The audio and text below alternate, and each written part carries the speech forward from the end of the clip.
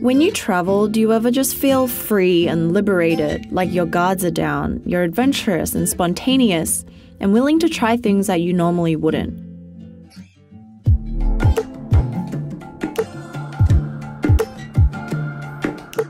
This is why I've always made it a goal of mine to travel at least once a year. It didn't have to be far and it didn't have to cost a lot of money, but it would be somewhere different. Puts into perspective the different aspects of your own life and things that you may have taken for granted.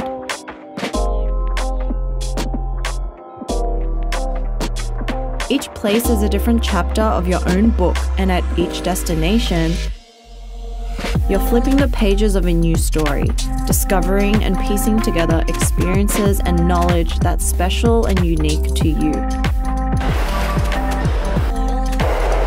And so you learn things you can't unlearn and you see things you can't unsee. You discover and you grow. In the next few months, I'll be heading to San Francisco, then to Bangkok, Hong Kong, and lastly, Japan. So today, I'm going to be sharing with you guys a method I use to pack light and enjoy the journey ahead. So let's go.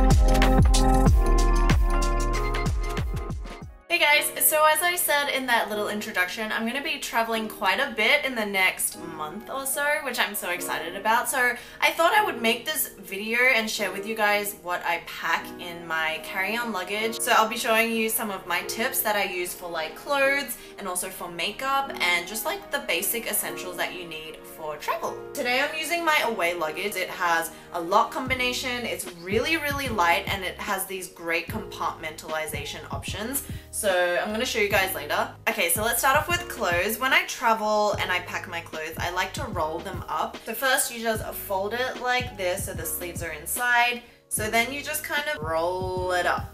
So obviously you do this on a flat surface. I'm just trying to like show you guys. But yeah, really like squish it down and roll it up. And I find this way really maximizes the space that you have in any suitcase. And it's so compact and it's so easy to find everything. And also do this with my jeans and my sweaters because all of them are really versatile and I can kind of mix and match them with my tops and kind of dress them up and down. And I think that's like one of the most important things when you're packing clothes for going overseas is that you can mix and match them so that they can be a bit more dressier or they can be really casual. So that's how I pack half this carry-on suitcase. It flips into half so you have kind of like 50-50 so at the very top of the luggage, there's actually this little zip compartment and out comes a little bag. This little compartment is really awesome because it's so compact and you know, if you don't need it, you don't have to use it. But I like to put my undergarments in there. I use this to put like my old socks because you don't want to like confuse it with your clean ones, right? So I think this is really awesome to just have in there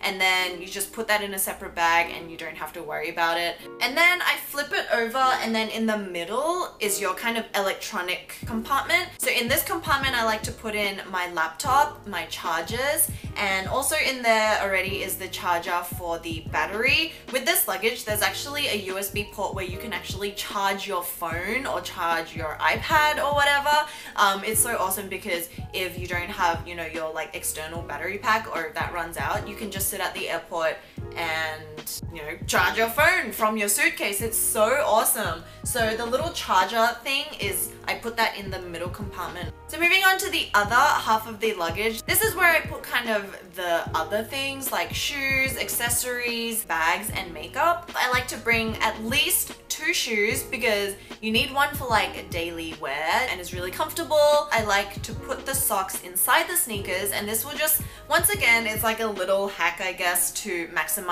your space. I like to bring a canvas bag. I just kind of cover the shoes with that so it doesn't get dirty or you know the shoes don't dirty the other things that I put on top.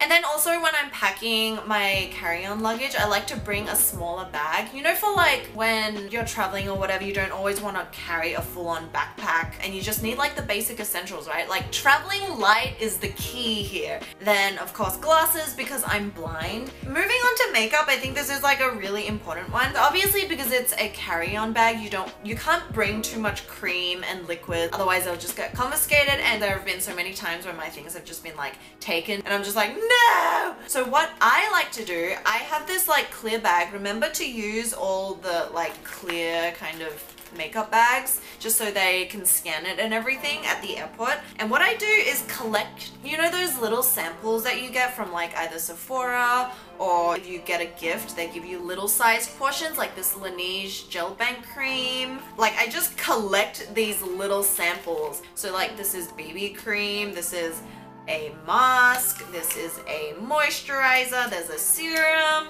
That's one of my probably best hacks is just to carry and travel with all the sample products that you have. and then for the brushes, because you don't want to just chuck them all in together, I think it's a really good idea to get like these kind of makeup pouch things and they keep them from like moving everywhere and this one's really great because it like covers the brush and then you just kind of roll it up and it's all really compact and it just makes everything so much easier.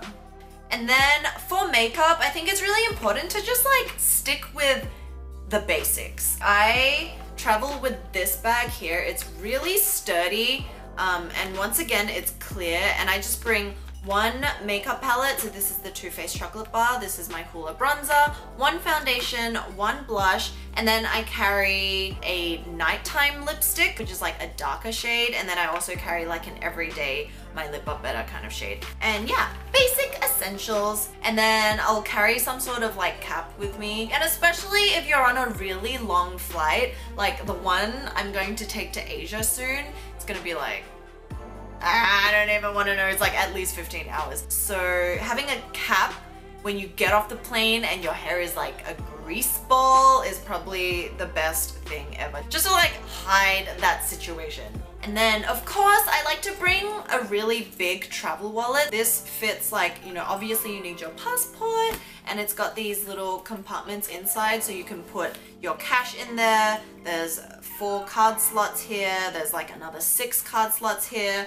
There's another compartment and I have band-aids in there for some reason. Um, and then there's another zip folder and then you know you have like all this. So it just makes it really easy to put your plane tickets to put any travel documents and your passport and your cash and everything like that. And just to have it like all in one place is really convenient so you don't have to like lose your mind thinking oh my god where is that? So yeah that's about it. So then my luggage has this little TSA approved lock. So you don't have to bring a key. You just slot the little zips inside this little like uh, thing and then it locks it itself. It has the USB port which is so convenient, so awesome. I'm like in love with it and it's also really really light. And I got mine in green because I think it's just kind of different. And I thought this was really subtle and from far away you can't even tell it's green until you like look up close and you're like oh that's interesting.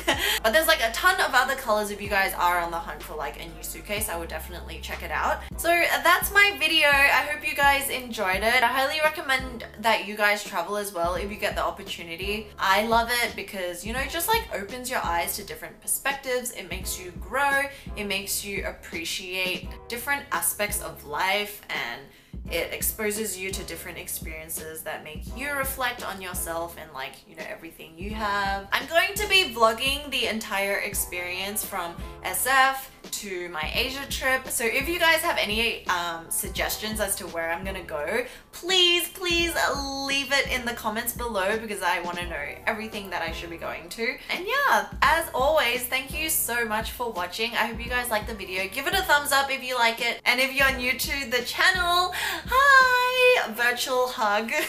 and hopefully I'll see you really soon. Bye! So I'll leave all the information of the things I got below so you guys can pick up your own carry-on. Bon voyage!